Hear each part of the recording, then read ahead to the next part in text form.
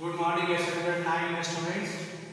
Today I am going to solve some more question, different type of question from the trigonometry ratio of standard angles.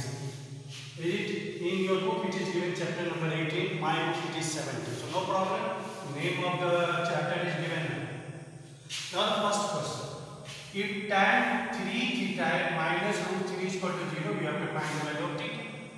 Now see, tan 3 theta is equal to 3, can. Now put the value of root 3 in tan form. That we know that tan 60 is equal to root 3. So in place of root 3, we can write tan 60. Now say here, eliminating, don't cancel, eliminate. So when we compare tan 30 is equal to tan, tan 3 theta is equal to tan 60 degree. When we eliminate tan, then 3 theta is equal to 60 means theta is equal to 20 degree. This is the answer. Question number 2. Cos is equal to sin 30 degree. So cos 40 degree plus x is equal now sin 30. Put the value of sin 30 that is equal to half. Now here it is cos. Now we have to put the value of half in terms of cos. Then it is cos 60 degree because cos 60 degree is also 1 by 2. Now cos 40 plus x is equal to cos 60 degree. Eliminate cos, then 40 plus x is equal to 60 means x is equal to 20 degree. Okay. Now come to the question number 3. 4 sin square theta minus 1 is equal to 0. Then we have to find the value of theta.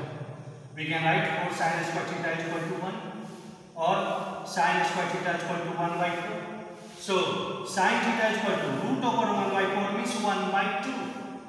Now sin theta is equal to 1 by 2. Put the value of 1 by 2 in sin. That is equal to sin 30 degree. Now when we eliminate sine, theta is equal to 30 degree. This is the answer. Last question for today.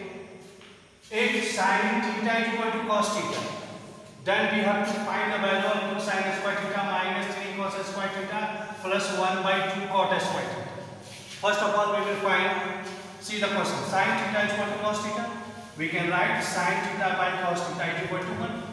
Now sine theta by cos theta we know that is equal to tan theta. Means tan theta is equal to 1. Now tan theta, put the value of 1 in tan form that is equal to tan 45 because tan 45 is 1. Now eliminate tan. So tan uh, theta is equal to 45. Now put this value of theta in this given question.